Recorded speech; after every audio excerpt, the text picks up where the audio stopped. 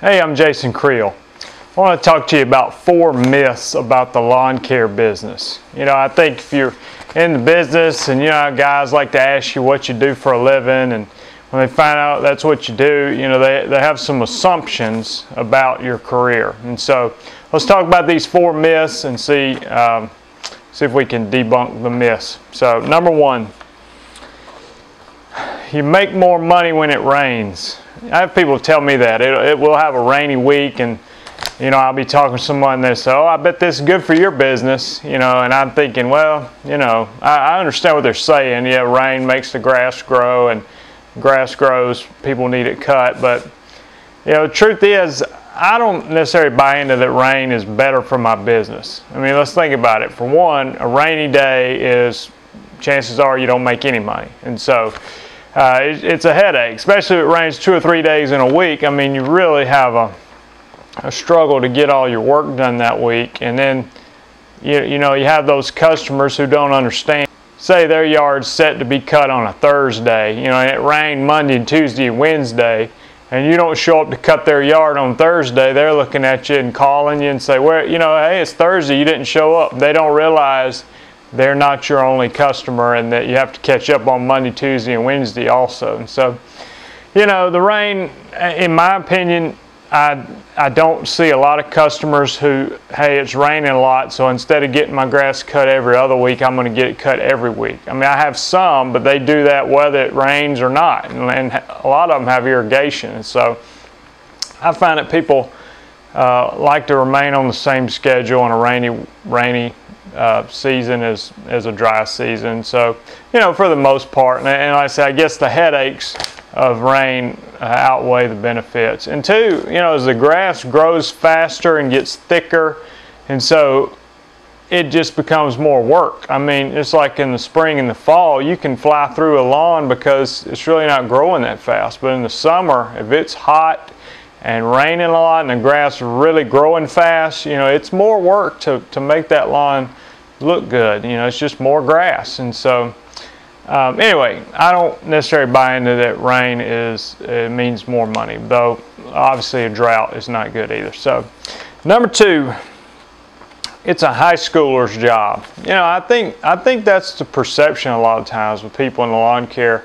You know, not people in it, but people who look at lawn care as, hey, that's something my my son did when he was in high school and, and made a little extra money on the side. You know, and I had a friend of mine when I started my lawn care business, he set me straight on that. I was putting out some flyers and just trying to get any kind of business I could, and it was in the fall. And I was putting out, you know, willing to clean up leaves for next to nothing. And he set me straight. He said, listen, you're not just trying to rake a few leaves up to make a $5 or, you know, what it is. You're in the business and you're, you know, and so you need to be convinced of that.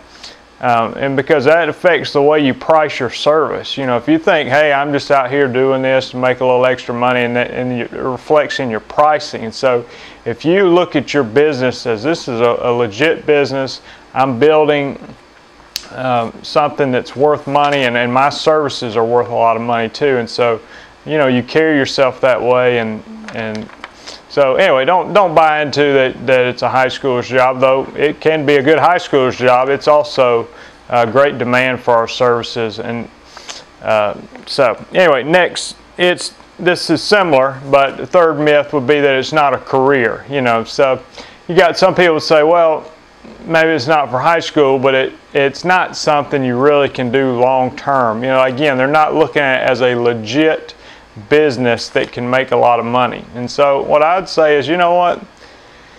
You don't have to convince them, but at the same time, a large lawn care business is worth a lot of money and makes a lot of money. And the people who own them are making a lot of money. I mean, unless they're just up to debt and in their eyeballs in debt and they've made a lot of mistakes. But, you know, it is a real business that can produce big time income. And so, you know, don't worry about people's perception, but don't believe that you can't make a career out of mowing lawns because you can. And I'm talking eh, not counting landscaping and irrigation, fertilization, all the other things you can get into. So, anyway, the fourth and final myth we'll talk about today is that anyone can do it. You know, I, I, get that sense. Sometimes people think, well, you know, you're just cutting grass. I mean, what's so anybody could do that? You know, and the truth is, uh, not anyone can do it. And because if you don't believe me, try to find a crew chief for your business. You know, that's what people say, oh, it's hard to find good employees. It is. It's hard to find people who have the skill set needed to be successful in lawn care.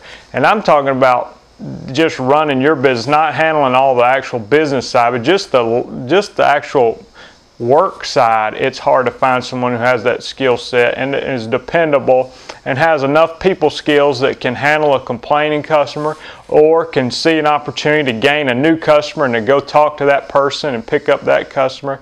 It's hard to find someone like that. And so if you are that person and you have that skill set, you know how to talk to people, you know a little bit about marketing, you know a little bit about accounting, you know how to manage employees, you know how to handle a complaining customer, you're even handy to, to be able to work on your equipment when you need to and do just routine maintenance.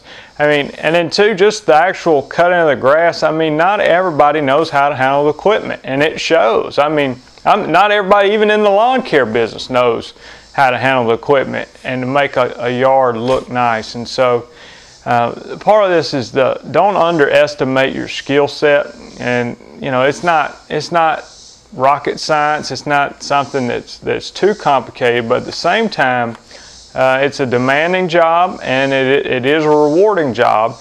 And so don't think that what you do uh, is something anyone can do. Hope that helps. Thanks.